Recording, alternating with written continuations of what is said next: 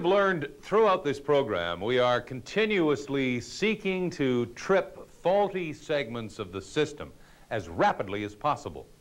We also want to protect 100% of the line by high speed tripping instead of just 70 or 80%.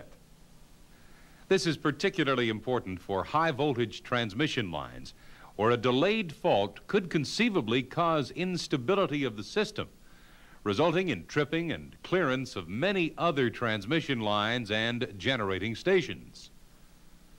By using pilot protection, rapid tripping and clearance is achieved by allowing the relays at each end of the line to communicate with each other and compare conditions. As we shall see, there are many different ways of achieving this, including various types of communication channels. The basic types of communication used between each end of the line are solid metallic connection, power line carrier, microwave, or fiber optic cable. Let's first take a look at the solid metallic connection, generally known as pilot wire relaying. This is used where the distance between each end of the line is quite short, say up to 10 miles. Indeed, at this short distance, other forms of protection, such as overcurrent or distance relays, are not very effective. Why is this? The problem with the distance relay is that the short transmission line will have quite low impedance, and therefore the relay will not be sufficiently accurate. A tolerance of, say, two miles is not too significant where the lines are 50 miles long, but it is certainly not adequate for protecting a 10-mile line. With the overcurrent relay, the problem is that there is very little difference in the magnitude of fault current for close-in faults and for faults out on adjacent lines. For short lines, we could consider differential protection with the CTs at each end of the line interconnected by pilot wires. We can well imagine the differential relay connected like this at the center of the line. Employing the well-known differential principle, this would compare the current entering the line with the current leaving. For normal operation or even a through fault, these currents would balance and no current would flow through the relay operating coil. However, in the event of any internal fault, this balance would be upset and current would flow through the relay operating coil and trip the breakers at each end of the line. In practice, this is not how it's done. Instead, we have a separate relay at each end of the line, and these are interconnected by the pilot wire as we see here. The relays are fitted with restraining coils which try to hold the operating contacts open, while the operating coil tries to close them. Let's consider the case where there is an external fault, that is, a through fault. The current in the CT secondaries circulates like this. There will probably be a small current passing through the relay operating coils, but this is insufficient to overcome the restraining coils. In this situation, the relays will not trip their respective breakers. This is correct for a through fault. Now, in the case of a fault within the protected line, the current will feed in from both ends. Now we have a large secondary current flowing through the operating coil, and this will be sufficient to operate the relay.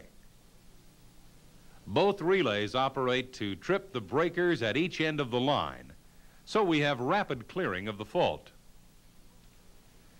In most circumstances, the magnitude of current feeding in from each end of the line is not identical. The exact value depends upon the location of the fault and also the amount of fault current available from the source at each end.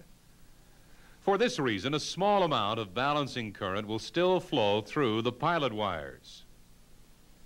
An extreme case would be when there is no inflow of current from one end, say from bus H.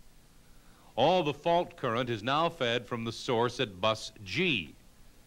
The CT secondary current will now flow along the pilot wires and pass through the operating coils of both relays. So it will still achieve the protection scheme's main objective, That is, to trip the breakers at both ends of the line simultaneously. This type of arrangement can be extended to include a third terminal, like this. This simplified schematic explains the principle of pilot relaying, but as you would expect, in practice it is more complicated. Here is a typical arrangement, which is commonly used on pilot wire schemes. At each end of the line, CTs are connected to each phase, and these are fed into a common sequence filter. This filter actually measures and converts three-phase currents into a single-phase output, which represents both positive and zero-sequence components. Polarity and the phase angle of the voltage depend upon the direction of primary current flow through the CTs. This output is fed into a saturating transformer. The purpose of this is to limit the voltage output to about 15 volts, no matter what type of fault is involved. This voltage produces a current flow through the relay and along the pilot wires to the equipment at the other end. Usually, the pilot wires are insulated from the relay circuit and the CT secondary circuit by an insulating transformer. At the same time, this raises the voltage from 15 volts to about 90 volts, so providing for more positive circulation of current. Where the fault is external, that is, a through fault, the sequence filter at this far end will produce a terminal voltage, which is of the opposite polarity. So the current circulates around the pilot wire circuit and through the restraint coils, but not through the relay operating coils. This is correct. Now, for a fault within the transmission line, the voltage produced by the far end sequence filter will be of the same polarity. Therefore, current will flow through the operating coil of both relays and trip both breakers. This system is known as phase comparison. We are comparing the phase angle of the voltage which is produced at each end of the line due to the fault. Now remember, these pilot wires are running either underground or perhaps along distribution poles, and they may possibly become damaged. What would happen if the pilot wires became open-circuited? Well, in this case, if an external fault occurred, both relays would operate. So this is one disadvantage. Perhaps a bigger problem is the case of a short circuit between the two pilot wires. This would effectively short out the operating coils of each relay. In the case of a transmission line fault, internal or external, all of the secondary current would flow through the restraint coils and so make the relays ineffective. The fault would not be cleared. In order to detect pilot wire faults, such as open or closed circuits, sometimes a monitoring system is installed at each end. A DC milliamp signal is applied to the pilot wire circuit. The capacitors allow AC circulating current to pass but block DC. Pilot wire faults alter the DC signal and cause an alarm. Another method, described in your workbook, measures the actual circulating current in different parts of the circuit. The pilot wires are usually quite heavy to provide mechanical strength and keep the resistance between the two terminals at a reasonable level about 2,500 ohms. The two conductors are always twisted together to form a pair because this reduces the interference due to inductance from nearby signals and external voltages, such as the power line itself. The pilot wire is often buried in the ground and protected by shielding, which will, of course, be at the potential of the surrounding earth. Even so, the pilot wire conductors may be subjected to high voltage due to mutual inductance from a nearby transmission line under fault conditions. For this reason, adequate insulation must be provided in the pilot wire cable. However, even a small induced voltage in the pilot wires may be sufficient to cause misoperation of the protection relays. Therefore, it is usual to provide at each end of the pilot wire a mutual drainage reactor, which will effectively discharge the high voltage to ground. A typical system uses a gas discharge tube like this. The reactors add equal impedances to the drainage circuit and ensure that both conductors flash over simultaneously. Otherwise, the voltage difference could cause operation of the relays and unnecessary tripping of breakers. The flashover voltage is about 500 volts. The drainage reactor is usually grounded to the surrounding earth instead of the substation ground mat, and we'll see why in a moment. The earth is commonly known as a remote ground to distinguish it from the station ground mat. A voltage difference can arise between these two grounds if a ground fault occurs on the power line. As fault current flows through the earth, the ground resistance and the resistance of the station ground produces a voltage drop and raises the potential of the station ground mat. So now we have a difference in voltage between the ground mat and the pilot wire shielding. In fact, if this shield was connected to the ground mat, it is probable that the large fault current from the power line would try to flow along this shield and cause damage to the cable. For this reason, the shielding is terminated outside of the ground mat area. Likewise, when grounding the drainage reactors that we just mentioned. However, we still have a problem. When the two pilot wire conductors enter the station, they will be connected to relays which are usually grounded on one side, so one of the pair will be subjected to the rising ground mat potential. The difference in voltage between the two conductors may cause inadvertent tripping of the relays. This problem is resolved by installing a neutralizing transformer, which in effect raises the voltage of both conductors to compensate for the difference. The primary of the neutralizing transformer is connected between the station ground mat and the remote earth, so registering the difference in potential. And remember, this usually occurs only when a ground fault exists on the power line. The neutralizing transformer has two secondaries, each of which are connected in series with each conductor of the twisted pilot pair.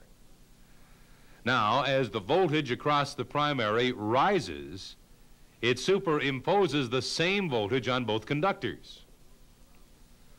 When you are working around this equipment in the field, always remember that the remote Earth may be at different potential to the station ground.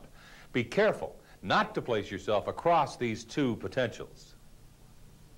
So we can see that the simple pilot wire system is not so simple after all. A considerable amount of equipment is required at each end of the pilot wire. We need the sequence filters, the saturating transformer, the actual tripping relays, the insulating transformer, and then protection for the pilot wire itself. That is, the neutralizing transformer, and the mutual drainage reactors. In many installations, DC polar type units are used in pilot wire protection systems because of their high sensitivity and high speed. In this arrangement, the appropriate circulating current is rectified in two separate units, and the resultant DC passed to the operating coil and the restraint coil. These two coils are wound in opposing directions on the same core or armature. The armature is placed within the field of a permanent magnet. The only flux present is that produced by the permanent magnet when there is no current flowing in either the operating or restraining coils. The armature does not move. The situation does not change when current flow is such that the strength of the operating and restraining coils are equal. Since the flux produced is in opposite directions and cancels out. When current flow is such that the flux produced by the operating coil is greater than the flux produced by the restraining coil, the armature will move, so closing the tripping contacts. The tripping point can be adjusted here. In the pilot wire protection scheme that we have just studied, the current flowing in the pilot wire is actually 60 hertz AC current generated by the fault current flowing in the power lines. Another scheme using metallic conductors transmits a signal along the pilot line at higher frequency, 1,000 to 3,000 hertz. And we'll be looking at this in a later segment. As we have already mentioned, pilot wire protection is limited to a distance of about 10 miles. But most of our power lines are much longer than this. So other forms of communication channel are employed for pilot protection. And we'll be looking at this in the next segment. For now, time to take a break. Please switch off the tape and review this material in your workbook.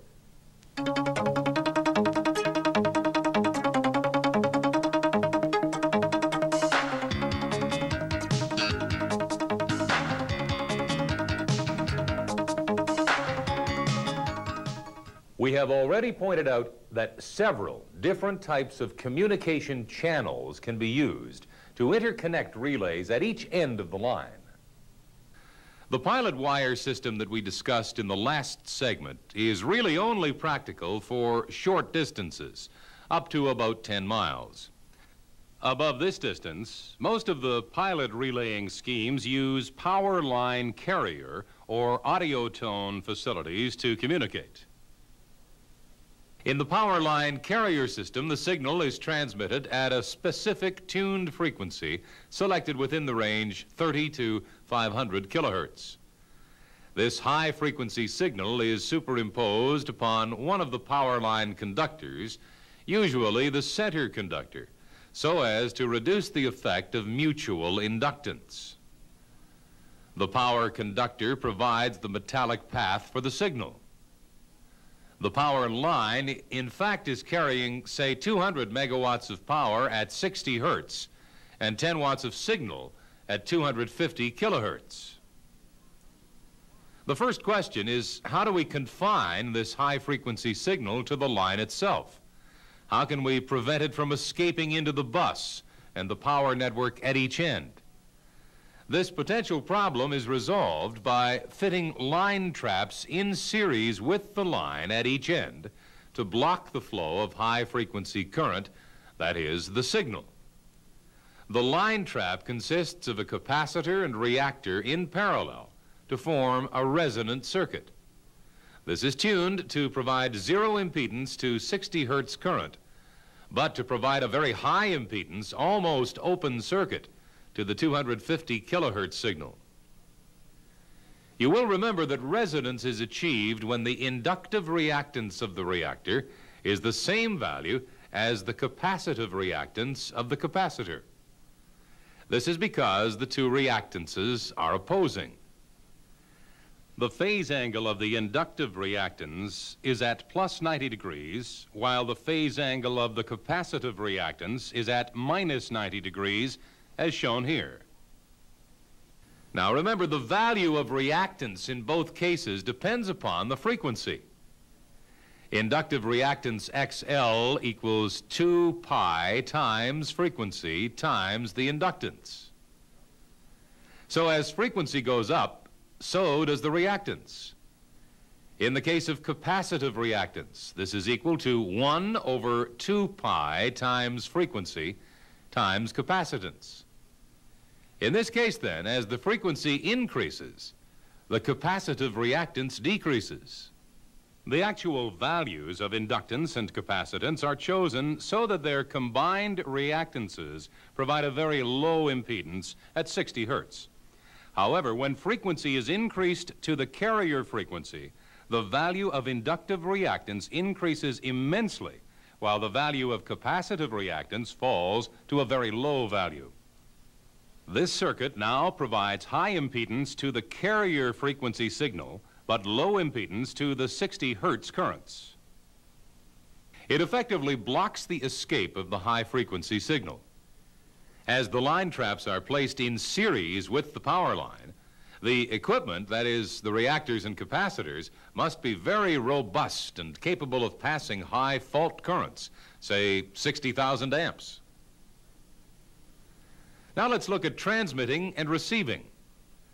The carrier signal is generated in the transmitter, and this itself is triggered by the protective relaying scheme. In order to inject the high-frequency signal into the high-voltage power line, a coupling capacitor is used. This is a large high-voltage capacitor, which is capable of withstanding the power line voltage under both fault and switching surge conditions. This effectively provides the insulation of the high-voltage line at, say, 230 kV from the low-voltage transmitting equipment, say, 120 volts. The value of the capacitor is selected so as to provide high impedance to the 60 hertz line current. For example, let's say the capacitor has a capacitance of 0.02 microfarads, that is 0.02 farads divided by a million, or 10 to the sixth. At 60 cycles, the capacitive reactance would be 1 divided by 2 times pi, times 60 cycles times 0.02 divided by 10 to the sixth. This all works out to about 133,000 ohms, an extremely high impedance, which would certainly block the flow of 60 hertz current from the line. On the other hand, at the signal frequency of, say, 200 kilohertz, that is 200,000 hertz, the capacitive reactance works out to about 40 ohms, a low impedance which allows the flow of high-frequency signal. This impedance is even further reduced by adding a reactor in series. The reactor can be adjusted, that is, tuned, so that its value of inductive reactance is the same as the capacitive reactance, 40 ohms in this case. So this presents almost zero impedance to the flow of the 200 kilohertz signal.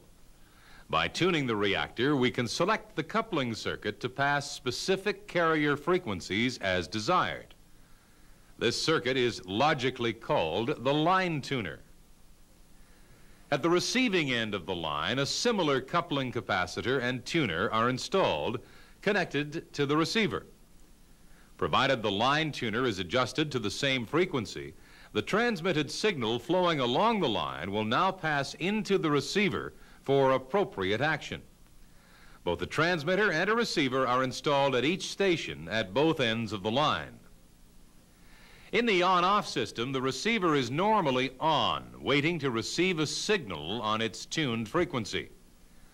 When the protection relay, say a distance relay or an instantaneous relay, detects a fault, it switches on the transmitter which then begins to send the signal at the preset frequency. The receiver picks up the signal and initiates appropriate action by energizing the control circuit. We'll be talking more about this in the next segment. This method of transmittal is known as on-off because the signal is only transmitted when action is required. Another method more commonly used today initiates a change in signal frequency to produce action at the far end. In this arrangement, under normal operating conditions, both transmitter and receiver are switched on all the time, and a signal is flowing continuously at a specific frequency. When the relay detects a fault, it will switch or key the transmitter to a different frequency. This is known as shift keying the frequency. The receiver at the far end responds to the change in frequency and initiates appropriate action. This system is called FSK, Frequency Shift Keying. It has the advantage that if the communication equipment fails at any time, loss of the continuous guard signal will be noticed and appropriate action taken. Another application of the FSK system uses audio tones. This method works by changing frequency, but the actual range of frequency used is much lower, about 600 to 3300 hertz.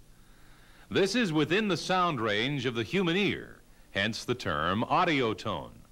We are all used to hearing these audio tones when using the telephone. The audio tone system provides the same high reliability as FSK by applying a continuous guard signal and a trip signal at a different frequency when required. The frequency shift between guard and trip signals is known as the bandwidth. For example, a typical bandwidth of 170 hertz may give us a guard signal of 1360 hertz and a trip signal of 1190 hertz. In this case, the nominal channel frequency would be halfway between the two, that is 1275 hertz.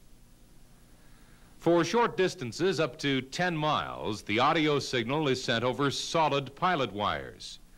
Nowadays, fiber optic channels are often employed for distances up to 30 miles.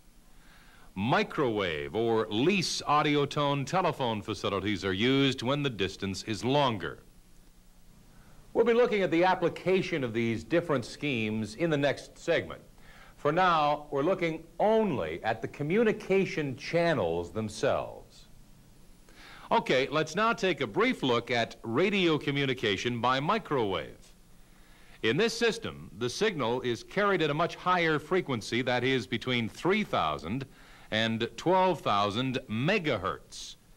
This super high frequency signal, SHF, is transmitted by radio from terminal to terminal. At each terminal, a dish antenna is installed, and the transmission must be by line of sight. The super high frequency waves travel only in a straight line. They do not follow the curvature of the earth. Therefore, for long distances, many repeater terminals are required. We are all familiar with the dish antennas that we see on high ground dotted across the country. In any particular power company, the microwave communication system will be used for many different functions, such as voice communication, data communication, information transfer, loading instructions, switching instructions, and protective relaying, all operating at different specific frequencies. The microwave system has the advantage that it can accommodate a huge number of channels. This is accomplished by the technique of multiplexing. If you would like more information on this subject, please refer to the L&K videotapes in the distribution and power system programs. Another communication channel which is rapidly being introduced into the power system is that of fiber optics. In this arrangement, the signal is transmitted by light waves traveling through an optical fiber. The fiber is made of non-conducting material, so it cannot provide a path for electrical signals. At the transmitting end, the electrical signal, perhaps a tripping signal from a relay, is converted into a beam of light. This travels down the fiber like this. The signal is able to travel around bends, providing they are not too acute. At the receiving end, the light beam is converted back into an electrical signal to initiate action, say tripping of a breaker. Obviously, the inner surface of the fiber has to be reflective, and its surrounding cladding is specially made to prevent or at least reduce loss of light. An advantage of modern fiber optic communication is that the attenuation of signal, that is, the loss of signal, is much lower than in other forms of communication. The fiber optic cable is made of glass or silica or a special plastic. It is very expensive, and so it must be handled with care during installation or repair.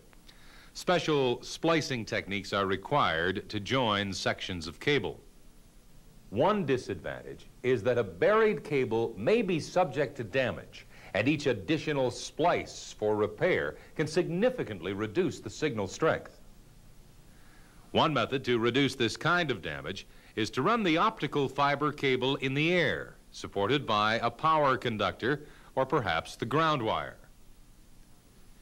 The insulating properties of the fiber cable provide a great advantage as it protects the signal from lightning, radio interference, and induction. It also protects the signal from ground potential rise at the substation. This eliminates the need for neutralizing transformers and other terminal equipment that we discussed earlier in this tape. A high-quality optical fiber link can transfer ultra-high frequency signals as high as 100,000 gigahertz. This means that one fiber optic link can carry a huge number of communication channels. The optic communication channels are typically installed in place of twisted pair solid conductors for pilot relaying up to about 30 miles. They are often used in conjunction with audio tone signals. So, that's a general look at the different types of communication channels that are used in pilot protection. In your workbook, you'll find a summary of the main features of these communication schemes. Take your time to study this information. And now at this point, let's take a break. Then we shall come back and see how the various protective relaying schemes at each end of the line utilize the communication channels to either trip or block tripping of line circuit breakers. For now, switch off the tape and review this material in your workbook.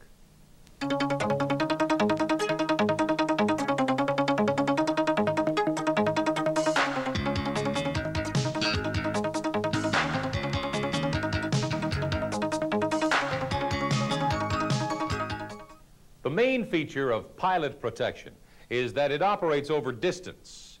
We have already seen that different types of communication channels and type of signal can be used between the stations. Let's now look at some typical applications. One of the most basic is the direct transfer trip. In this arrangement, operation of local protection relays, say adjacent to a transformer, will cause tripping of a breaker at some remote location. You will remember that we discussed this in an earlier tape. Other applications for the direct transfer trip are A. Shunt reactor protection where there is no local breaker. B. Remote breaker failure protection. And C. Line protection. We'll look at this in a moment. This diagram shows the arrangement for a transformer with no local breaker on the high voltage primary.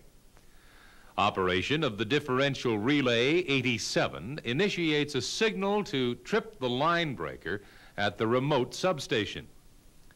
As there is no supervisory relay at the breaker end, this is known as direct transfer tripping. For short distances, the tripping signal would probably be DC over a solid pilot wire.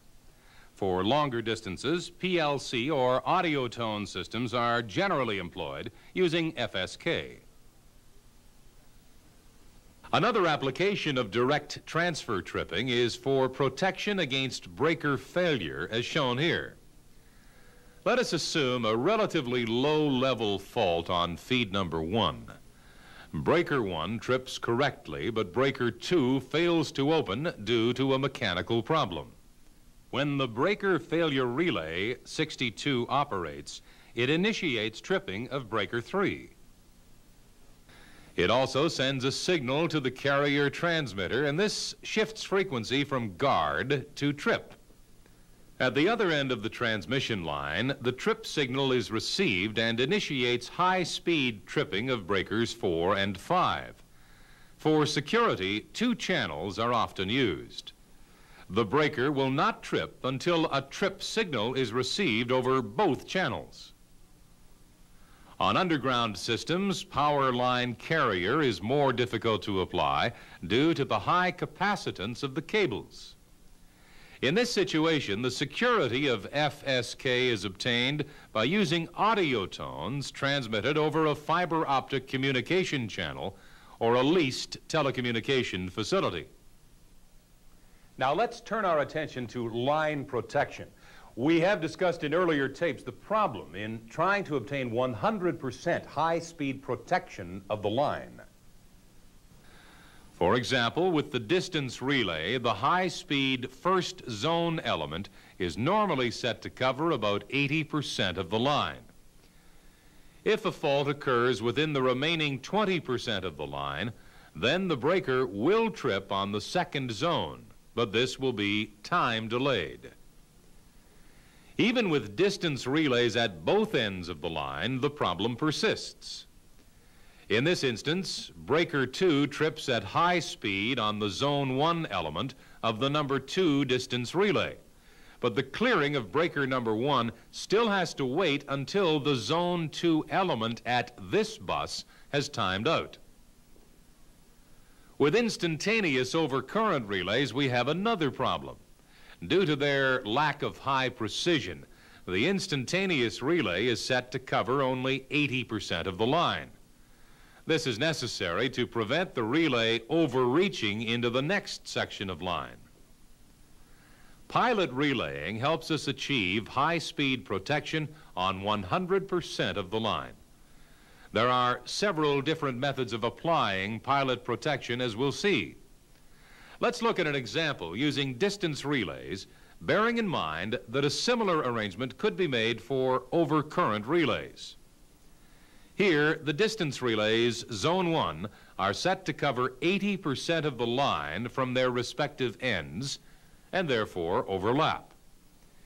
If a fault occurs within this overlap section, then the relay at each end will operate and immediately trip both breakers, so providing high-speed tripping. If the fault is external to the line, we do not want the relays to operate. Therefore, directional relays must be used with the tripping direction looking into the line. So this provides selectivity. Now let's look at a fault in the last 20% of the line. In this situation, the zone 1 element of the distance relay located at bus G, let's call this station G, will not operate. The fault is outside of the preset zone. The Zone 2 element detects the fault, but tripping of breaker 1 is delayed. Preferably, we want high-speed tripping. Let's look at the other end, station H. Here, the fault is close in, so the relay does operate and immediately trips breaker 2. At the same time, it immediately switches the transmitter from guard to trip frequency. This new frequency is sent along the communication channel. At station G, the receiver picks up the signal and immediately trips breaker one. So this arrangement achieves the objective of high-speed tripping at both ends, and at the same time it prevents overreach and false tripping for external faults. Note the main characteristics of this protective scheme. The transmitter is working in the FSK mode.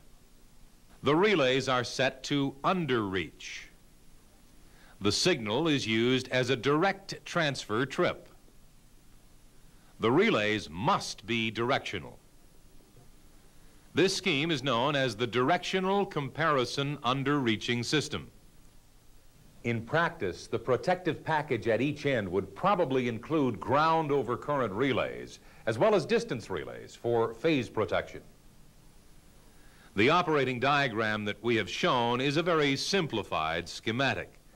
More often, you'll find a logic diagram applied instead, like this. This is the logic at station G connected by the pilot communication channel to the logic at station H.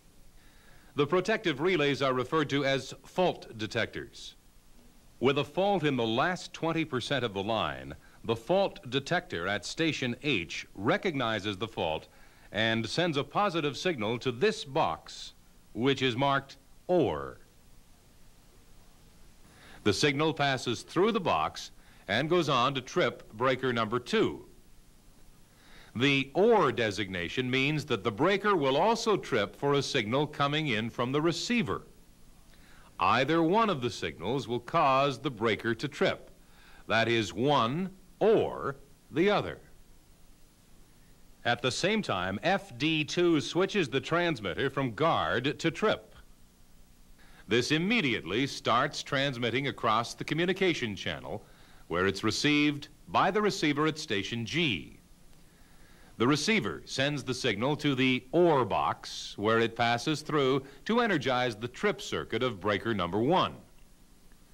Note that it does not need a signal from fault detector 1. It is a direct transfer trip. However, if the communication channel fails and the fault detector at 1 operates after a time delay, then that will pass through this box to trip the breaker. Now, this is a relatively simple logic diagram and hardly seems worthwhile. But in a more complicated system, this is the best method of working out how the protection scheme functions. In fact, when designing the system, the logic diagram is usually prepared first.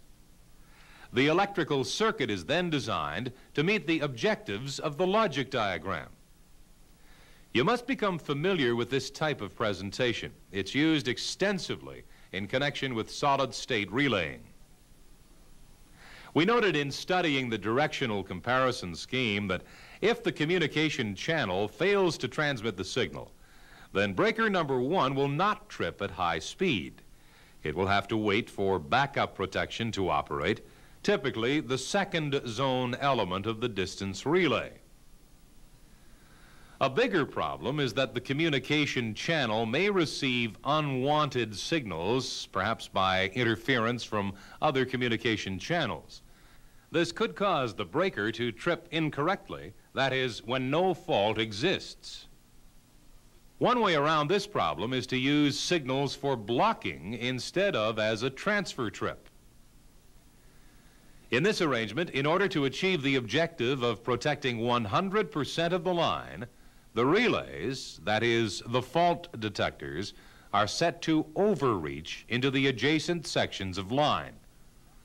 The pilot relaying system functions to block tripping when the fault is external. Let's see how this works.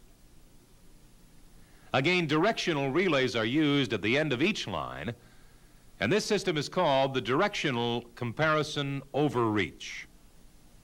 Now, suppose we had an external fault to the right of bus H, but quite close in.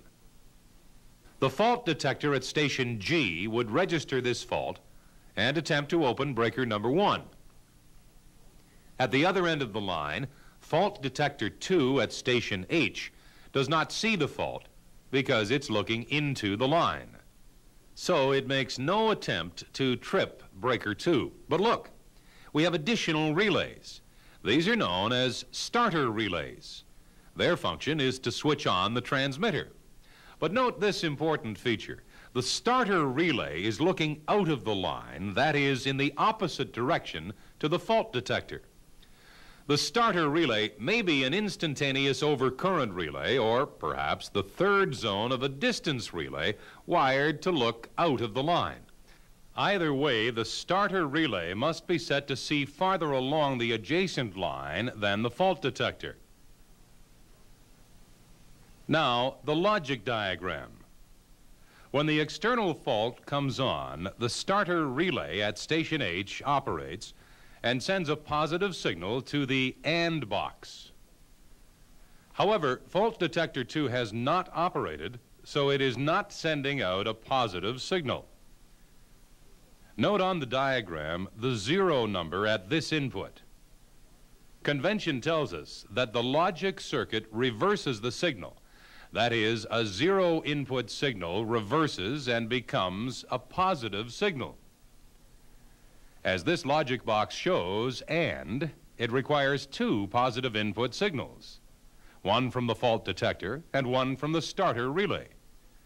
With these two positive signals, it initiates transmission of the blocking signal.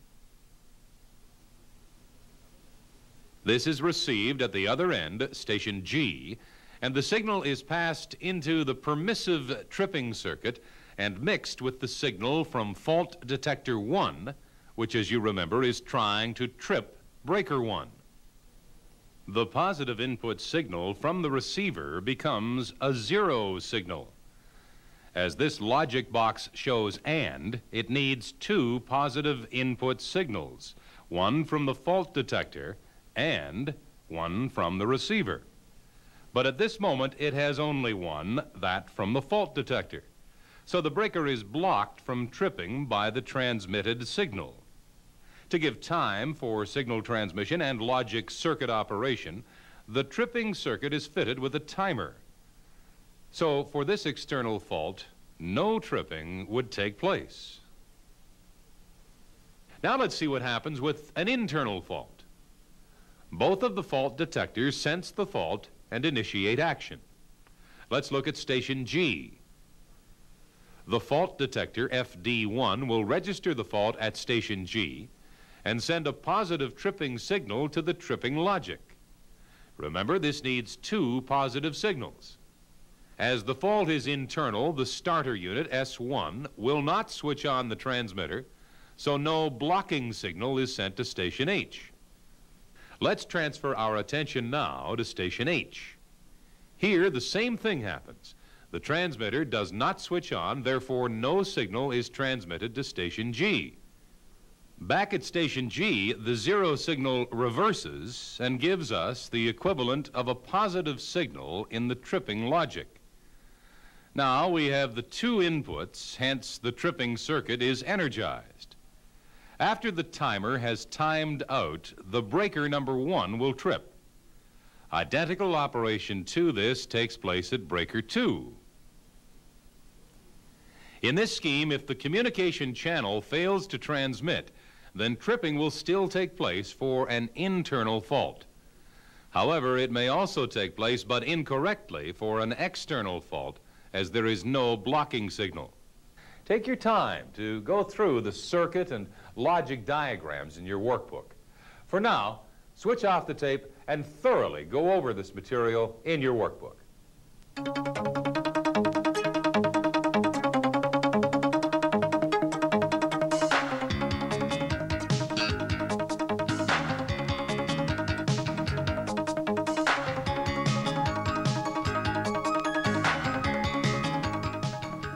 A variation of the overreach scheme that we studied in the last segment uses frequency shift keying, FSK, of the transmitter instead of the on-off mode. This can be transmitted over PLC or by means of audio tones over a suitable channel.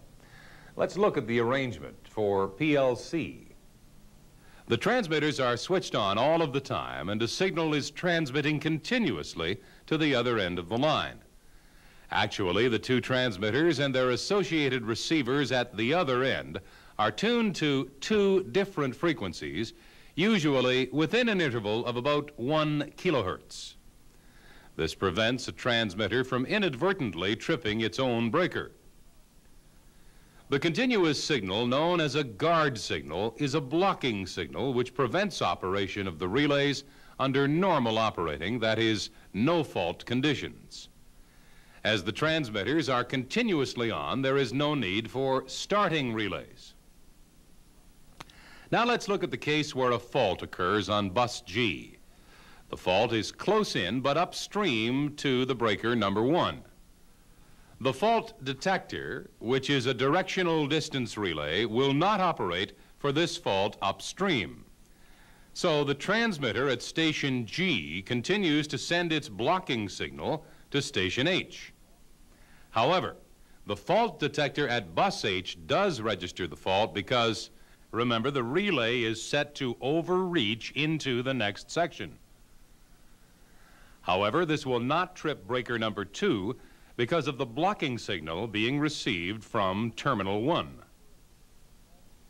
Operation of the fault detector at bus H also keys the transmitter at station H to change its transmitting frequency from the guard signal to the trip signal. This is usually achieved by lowering the frequency by about 200 to 500 hertz. At the same time, signal power is increased from 1 watt to 10 watts. When this signal is received at station G, the relay is released to operate. But as we have just mentioned, this relay, FD1, does not register the upstream fault and therefore will not trip. In effect, the transmitted signal is applied as a permissive, which allows the relay to trip when the fault is within the protected zone. Now, let's look at the case of an internal fault, let's say halfway along the line. At station G, the fault detector detects the fault and keys the transmitter to change frequency to the unblocked mode, so giving permission to the relay at station H to operate. This relay detects the fault and therefore operates to trip breaker number two. At the same time, it keys the transmitter to key the unblocked signal to station G. This gives permission for the relay at this end to trip breaker number one, so clearing the line. This method of communication, utilizing the shift in frequency, has two distinct advantages. First, because the transmitter is transmitting continuously, there is no need for a starter relay to switch the transmitter on. Also, if there is a failure in the communication channel, the loss of guard signal will be immediately recognized at the receiver end. This condition will be alarmed so that the appropriate action can be taken. While this is being done, the pilot relay system will be inoperative, but the distance relays will still be allowed to operate individually. Where the signals are transmitted by an audio tone system, the operation is similar. The shift in frequency is within the range of 150 to 500 hertz, and the signal power is increased by 12 dB. All of these schemes that we have looked at so far are directional comparison schemes. They compare the direction of current flow at each end of the line by the use of directional relays. Another method uses phase comparison in order to compare fault current flow at each end of the line. This method is often used where CTs only are available. Therefore, it is usually employed with instantaneous overcurrent relays as fault detectors. You will remember that we looked at a phase comparison scheme when we studied the pilot wire arrangements earlier in this tape. A similar arrangement is employed but using power line carrier as the communication channel. As before, a special filter circuit is connected across all three CTs. If a phase fault or ground fault is present, this filter will produce a single phase voltage at its output terminals. The polarity of this voltage depends upon the direction of the current flow into or out of the power line. Actually, the voltage produced by the network circuit is not a sine wave, but a half-cycle square wave, like this. The transmitter is an on-off type, therefore a starting relay is required. The overcurrent relays are set up like this. The trip relay is set to overreach into the adjacent line. This is the element which is used for tripping the starter relay is set to overreach further into the adjacent section, and this is operated without time delay to start the transmitter. So let's look at an example where the fault is to the right of bus H, but close in. This fault is detected by both trip relays at station G. The starter relay starts the transmitter to send the half-cycle square wave signal along to the receiver, and tripping logic at Station H. The overcurrent relays at Station H operate as non-directional. This starts the transmitter, and at the same time, it sends a tripping signal into the logic circuit, attempting to trip breaker 2. This trip logic receives yet another signal from the network's squaring amplifier. With external faults, that is, with both currents flowing this way, the signal from the amplifier is of the same polarity as the wave transmitted from station G. The signal received from station G is reversed.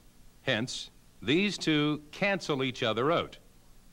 Thus, only one positive signal is present and no tripping will take place. Breaker 2 remains closed. This same operation takes place at the other end. Even though the fault detector tries to trip breaker 1, it is prevented from doing so by the blocking signal which is received from station H. Let's see what happens in the case of an internal fault. In this case, the polarity of the square wave from the network circuit will be out of phase with the signal received from the other end. In fact, the two will be additive, hence tripping will occur at both ends of the line. Once again, let's examine the characteristics of this scheme. The transmitter operates in the on-off mode. Non-directional relays are used, hence the protection scheme is suitable for application with instantaneous overcurrent relays only. No voltage source is required. The relays are set to overreach, and the transmitted signal is a blocking signal. If the communication channel fails, the protection system will still operate, but it will trip incorrectly for external close-in faults. In all of these pilot protection schemes, the logic circuit is quite complicated.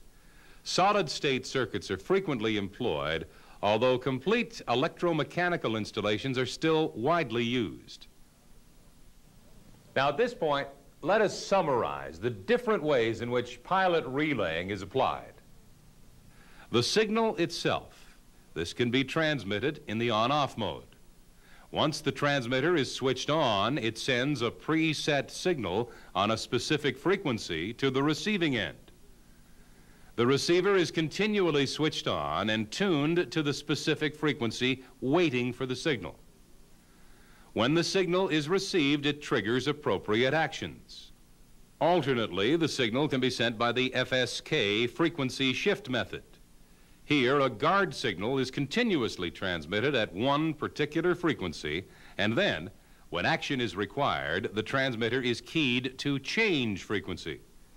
The receiver detects this change of frequency and initiates appropriate action. The FSK system is the preferred method nowadays, as it's more reliable due to the continuously monitored guard signal. In contrast, the on-off system must be checked at regular intervals, say monthly, to ensure that it will work when required. The signal itself may be used in several different ways. To initiate tripping, that is, direct transfer tripping. To block tripping, or to permit tripping. In your workbook, we have included a summary of the various pilot protection schemes in common use and their preferred communication channels. Take time to study and learn this information and make sure that you study the pilot protection schemes that are used in your own power system. Check out the relay settings and also the logic diagrams with your supervisor. Please switch off the tape now and thoroughly review this material in your workbook.